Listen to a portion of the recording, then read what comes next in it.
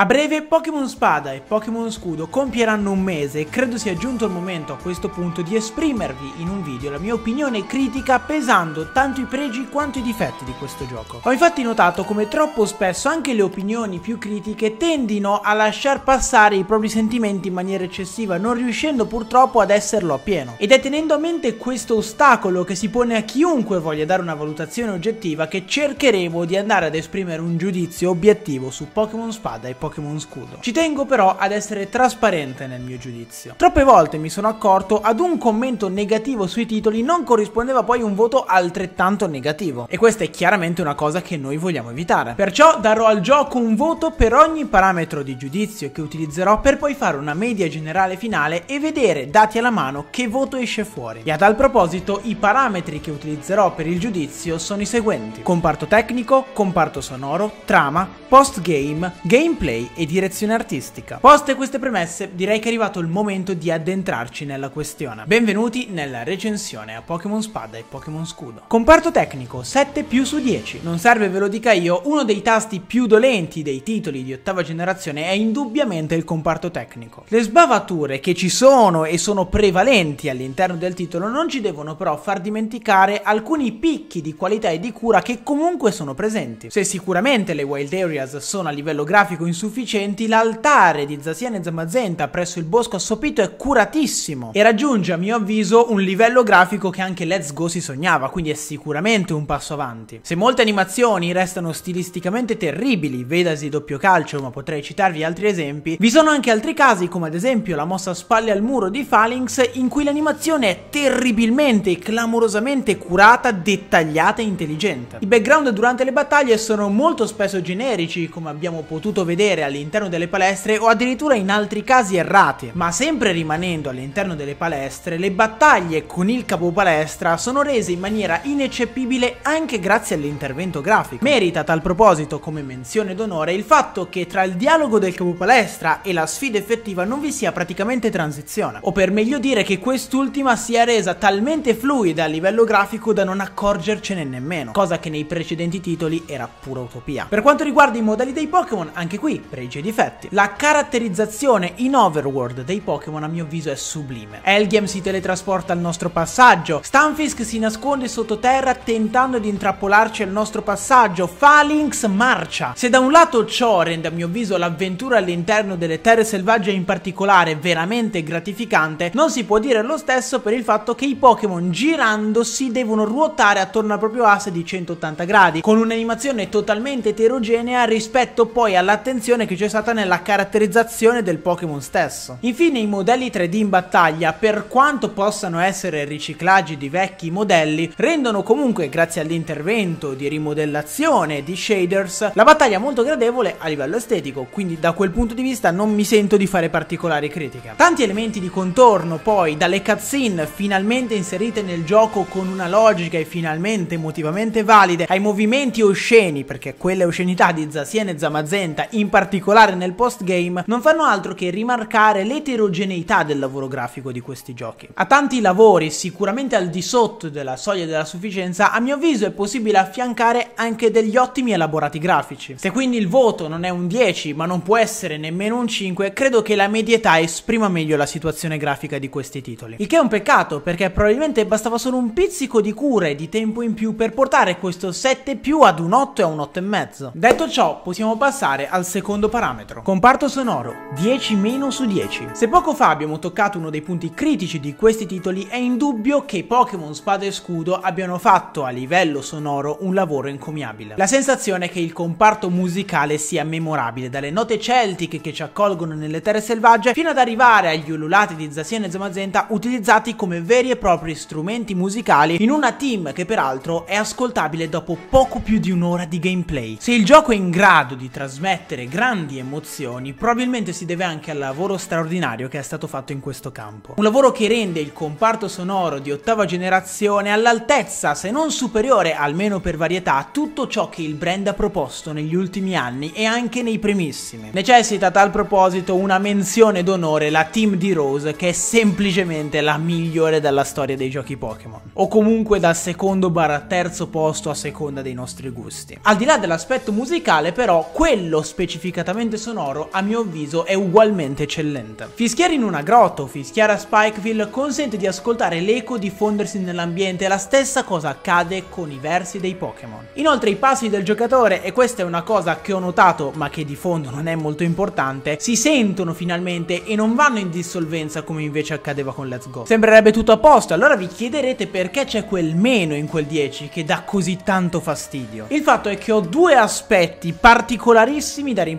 al sonoro che però non ho voluto far pesare più di tanto in quanto inseriti in un contesto di estrema positività. Le scene in cui Ginepro, capopalestra di Spikeville, tenta di cantare hanno mostrato quanto il doppiaggio sia uno step necessario per creare un prodotto ancora più di qualità sotto questo aspetto. Forse un aspetto non necessario nell'immediato, ma sicuramente da inserire da adesso nell'agenda delle cose da fare. Detto questo, in secondo luogo vi è un'unica team all'interno del gioco che ho trovato clamorosamente sbagliata. Si tratta della host che martella incessantemente i timpani del giocatore quando il giocatore stesso e Hop prendono d'assalto la Rose Tower. E per incessantemente intendo dire anche che durante le battaglie che si affrontano in quel contesto la team non si ferma. Una scelta che forse giustificherei con un tentativo di essere simpatici vista anche la caratura dei personaggi che si stavano affrontando, ma che nel contesto generale e soprattutto per quello che arriva dopo ho trovato completamente stonata. E a proposito di ciò che è avvenuto dopo tutto ciò, è arrivato il momento di passare al nostro terzo parametro, ossia la trama. Trama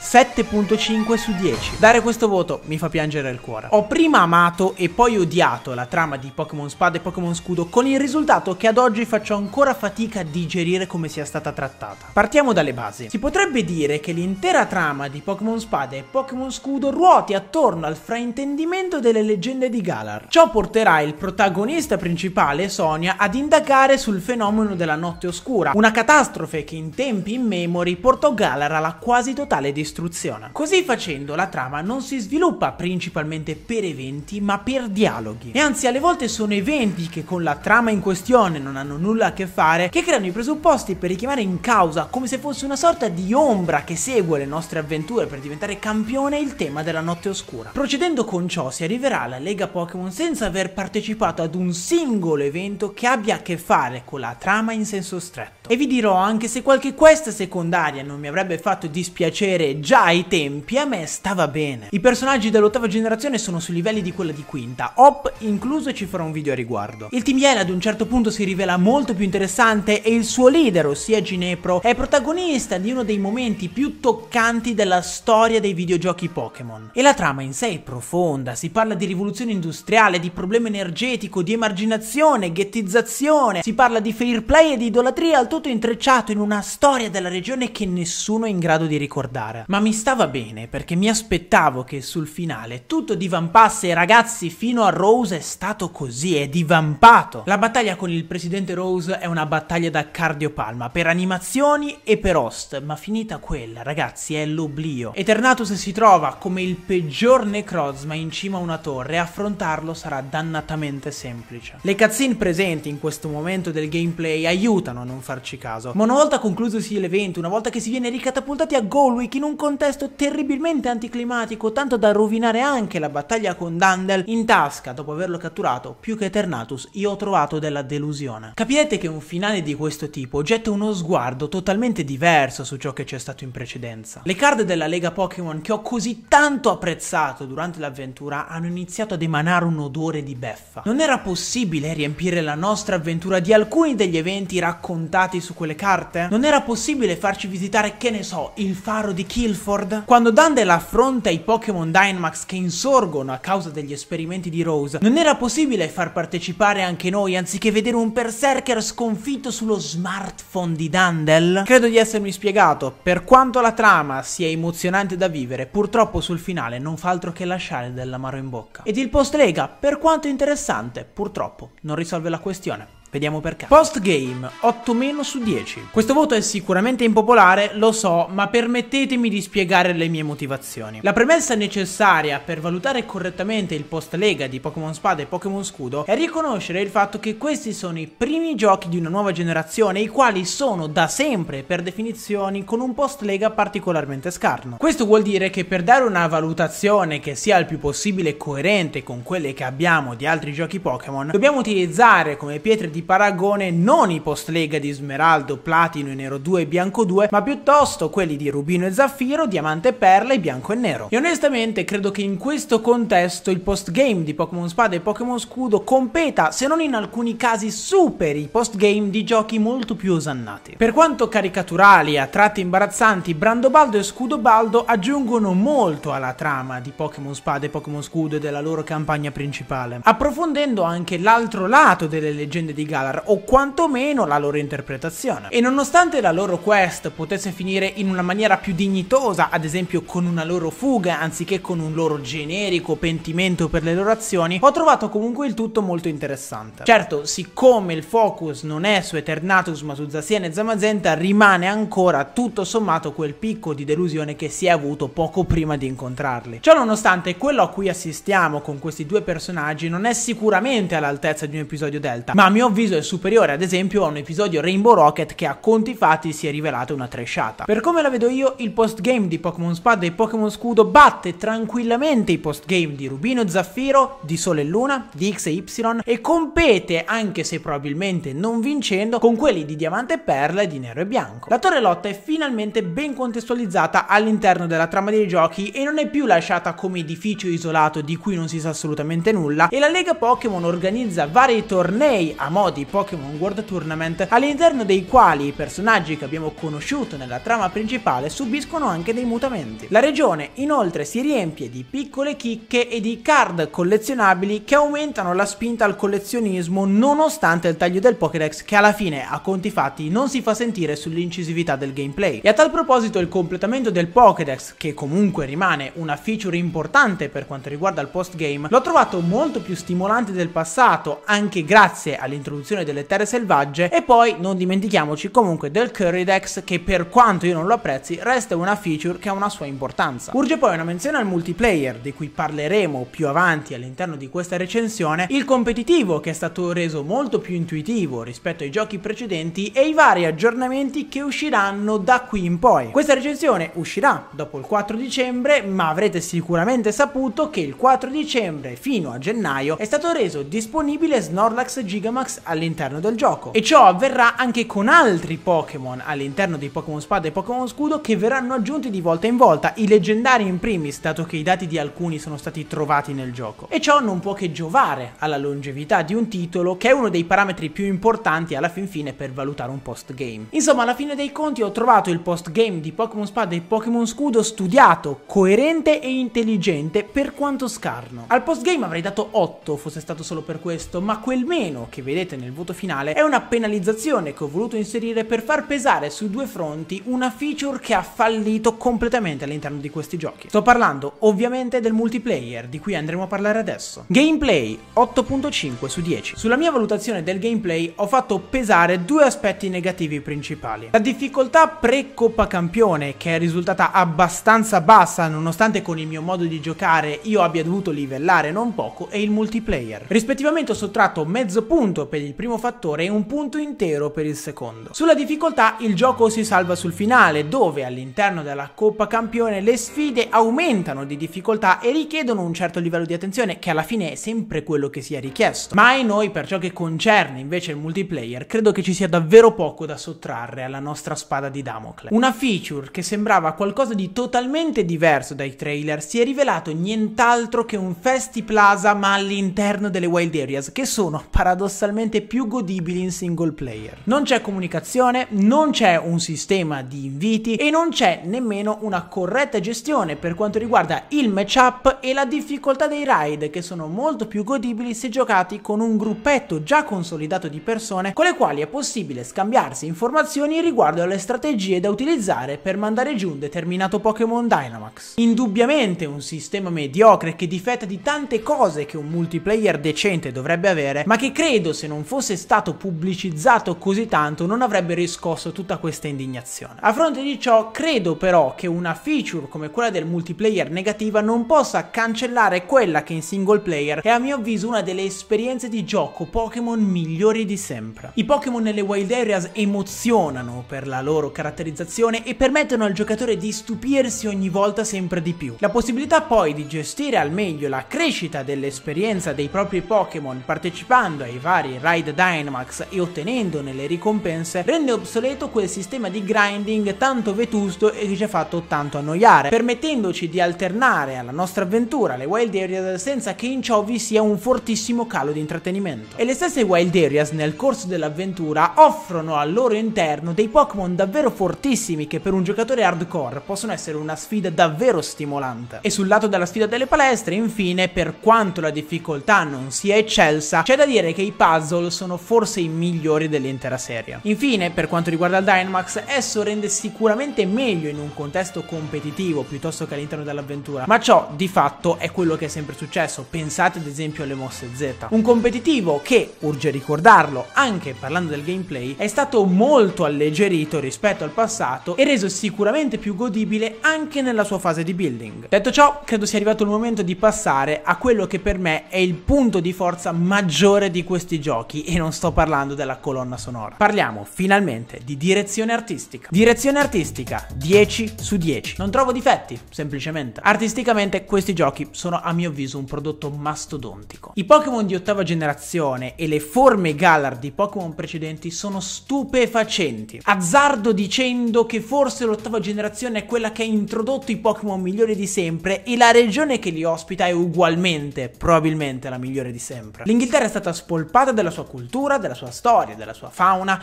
ed è stata trasposta magnificamente in un gioco Pokémon. Le città sono ispiratissime, in particolare ho trovato molto interessante Spikeville, una città che riesce benissimo a rappresentare la ghettizzazione dovuta alla rivoluzione industriale e che tratta un argomento maturo in maniera magistrale seppur caricaturale. Come è accaduto per Brandobaldo e Scudobaldo, si ha la sensazione che quando la tematica diventa eccessivamente profonda, la si dia in mano a dei personaggi caricaturali sui quali un bambino non avrebbe alcun sospetto. E per quanto ciò possa non piacere a livello soggettivo a qualcuno, io penso che la satira fatta sia fatta bene e che dal lato artistico ci sia davvero pochissimo da recriminare tanto a un Timiel quanto a un Brandobaldo e a uno Scudobaldo. Insomma, poco da dire e poco da recriminare. Su questo aspetto credo che Pokémon Spada e Scudo siano i migliori dell'intera serie Pokémon. Considerazioni finali. Calcoli alla mano, il mio voto finale è un 8.4 che però sa di amaro. E sa di amaro perché con poco questo gioco avrebbe potuto raggiungere un voto paurosamente più alto. Bastava più cura, più cura sul finale, più cura nel comparto tecnico, più cura nella gestione di un multiplayer. E se il problema fosse che il gioco non è curato, punto e basta, avrei l'anima più in pace, avrei l'anima più tranquilla. Invece non è così, non attecchite alla retorica che tutti fanno adesso della pigrizia. Se si è pigri non si creano ambientazioni come quella dell'altare nel bosco assopito, non si creano animazioni belle come quella di Phalanx. Siccome il titolo non è in toto poco curato, ma è semplicemente eterogeneo, presenta solo dei difetti talmente evidenti che è impossibile non notarli, io temo che il problema non sia la pigrizia, ma sia, come è stato detto dagli sviluppatori stessi, il tempo. È sotto i nostri occhi, ragazzi, non chiudiamoli. Questo gioco a volte sembra essere il futuro, a volte sembra essere il medioevo. Fosse sempre il medioevo, avremmo più l'animo in pace, perché se fosse sempre il medioevo, allora capiremmo che Pokémon non potrebbe andare oltre e invece non è così. L'ho già detto, ma per questo gioco io ho la metafora perfetta. Pokémon Spada e Scudo è un tema consegnato in brutta. Un tema bellissimo, con frasi e citazioni perfette, profondo al punto giusto, ma che dà davvero la sensazione di spegnersi in mancanza di tempo. Un tema ricopiato in bella di fretta, tanto che la bella alla fine sembra essere più una brutta che una bella. Scritto per metà con la penna nera e per l'altra metà con la penna blu, con il foglio protocollo al contrario, con gli scarabocchi e gli errori grammaticali, metteteci tutto quello che volete. E l'amarezza, per quanto mi riguarda, sta proprio nel fatto che nonostante tutto ciò, Pokémon Spada e Scudo sanno essere belli, sanno farsi piacere, però cavolo quanto potevano piacermi di più. Io mi auguro con tutto il cuore che esca un Pokémon Spada e Scudo 2, un Dyna Spada e un Dyna Scudo, perché voglio godermi Galar a pieno delle sue potenzialità, ma sapete che c'è ragazzi, io ho paura. Ho paura perché nel 2017 hai pubblicato Usum, che non è stato in grado di rendere giustizia a Pokémon Sole e Luna, nonostante avessi già la base di quei giochi. Nel 2018 hai pubblicato Let's Go, che non è nemmeno considerato un gioco della saga principale. E dopo due anni di lavori minori, vedere che anche Pokémon Spada e Pokémon Scudo difetta di quella cura che vedemmo un tempo con un Pokémon Nero 2, con un Pokémon Diamante, Perla e Platino,